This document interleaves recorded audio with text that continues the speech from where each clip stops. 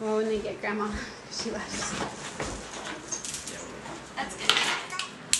It's a birthday. It's grandma's birthday. Grandma's birthday. I'll go get grandma. Let's do two. All right, we ready to sing? All right. Happy birthday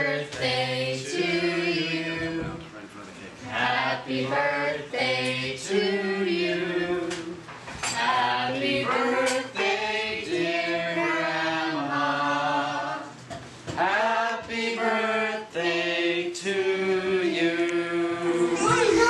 This is a Oh, William, don't blow them. All right, Grandma, let's make a wish and blow out the candles. Don't tell anybody the wish.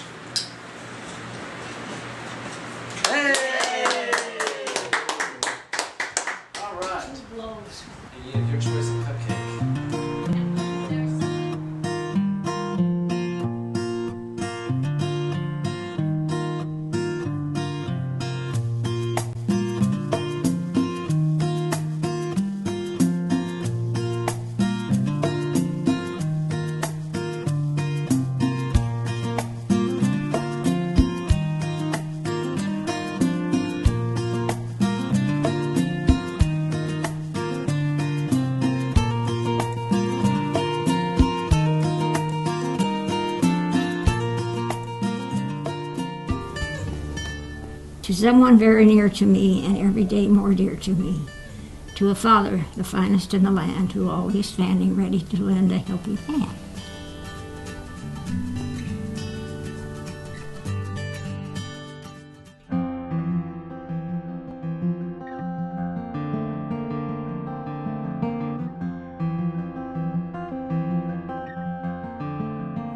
In recalling my babyhood days, my mind is somewhat hazy for I do not distinctly remember many events in the first years of my life.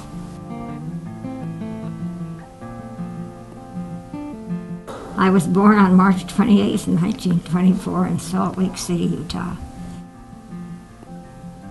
At the time of my birth, my sister Rada Jane, who was to be the cause of many of my childhood worries, was three years older.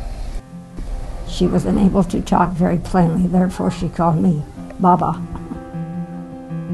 It was from this source I received my name, Barbara.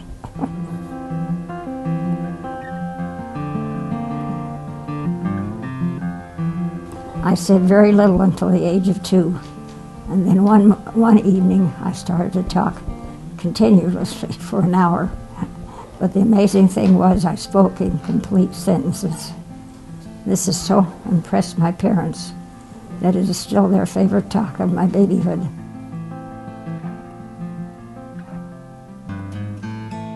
My father's name is Ralph Taylor Richards. My mother's name is Rita Gibbs.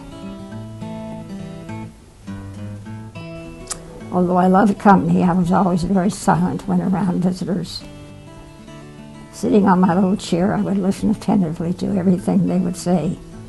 And after the guests had left, I would re- repeat, repeat to my parents all that had been said. I did not make friends with people unless they showed they were interested in me. During my younger days, I had a great dislike for people who talked too much.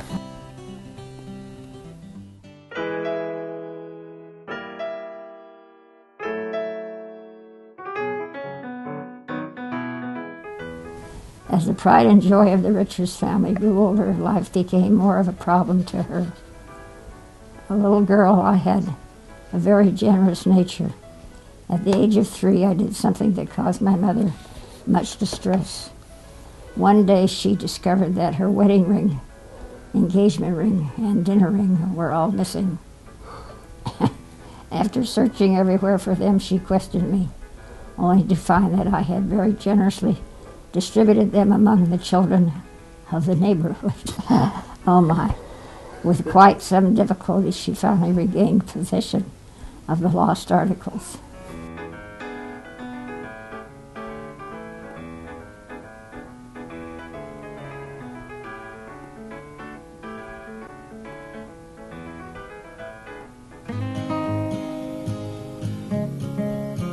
Most of my summers were spent at a summer home in the Big Cottonwood Canyon.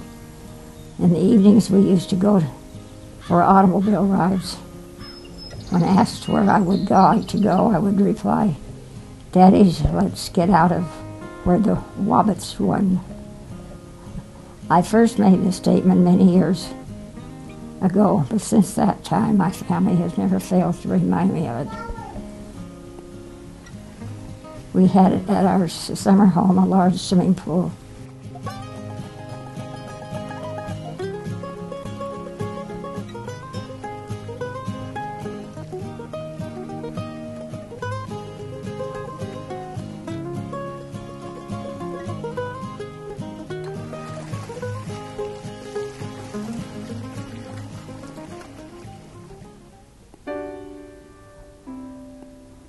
During my first summer there, when I was learning how to swim, I did something that almost ended my days here on earth. Thinking myself capable of swimming without the aid of water wings, I descended the steps of the pool one morning.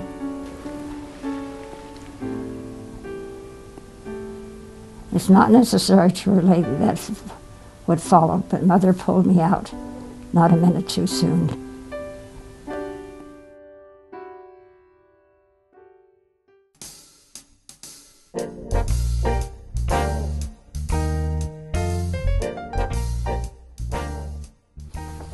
At the age of five, I started going to school.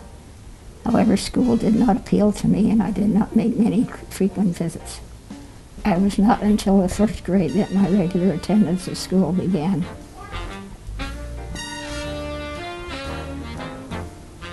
My grammar school days passed with the usual amount of sorrow and happiness. My seventh grade in school, I moved to California. Those first few months I spent in Los Angeles are memorable ones.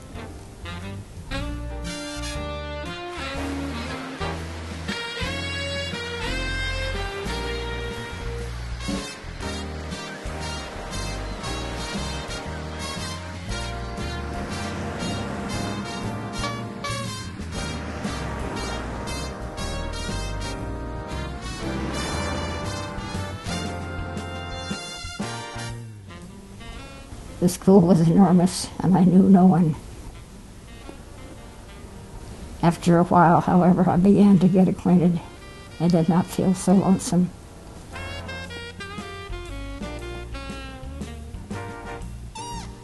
My second and last year at school was very enjoyable. How well I remember those parties that led up to the final great event, the day of my graduation. It was both sorrow and gladness I felt as I mounted the steps of the auditorium to receive my diploma.